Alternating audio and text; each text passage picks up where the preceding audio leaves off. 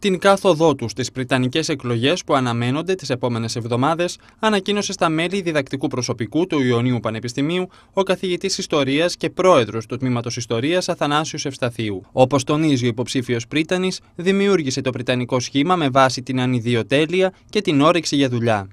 Το όραμα το οποίο θέλουμε να υλοποιήσουμε είναι ότι πέρα από το να φτιάξουμε ένα ρωμαλαίο πανεπιστήμιο, μικρό μεν, αλλά ρωμαλαίο επιστημονικά ακαδημαϊκά, ε, είναι να ε, δώσουμε δυνατότητα και στα μέλη του Πανεπιστημίου να αναπτύξουν την επιστημονική τους δράση, εκπαιδευτικά να το αναγάγουμε σε υψηλότερα επίπεδα ενσωματώνοντας και αγγλόφωνα προγράμματα.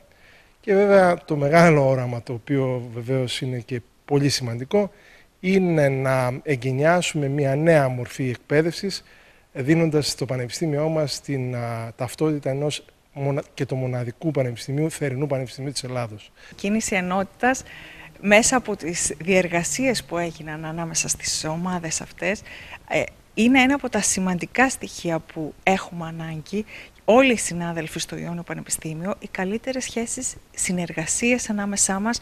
Εκτός από τον κύριο Ευσταθίου, το πριτανικό σχήμα συμπληρώνουν οι καθηγητές Μάρκος Αυλονίτης, Σωτήρης Λίβας, Κωνσταντίνος Οικονόμου και Ζωή Διονυσίου. Άπαντες επιδιώκουν την προσφορά στην επιστήμη, την έρευνα, την τέχνη και την καινοτομία. Στόχος τους, ένα πανεπιστήμιο ανθρωποκεντρικό με κοινωνική ευαισθησία και κοντά στην τοπική κοινωνία.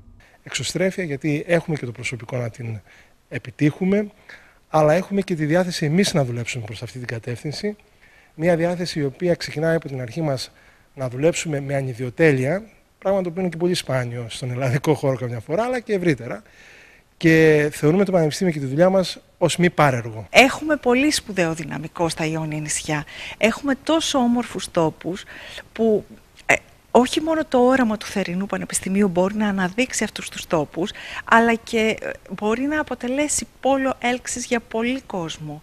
Για το πρετανικό σχήμα του κύριου Ευσταθίου, η συμμετοχή στην εκλογική διαδικασία αποτελεί μια πρόκληση με το βλέμμα στο μέλλον και στους νέους τρόπους αντιμετώπισης της εκπαίδευσης.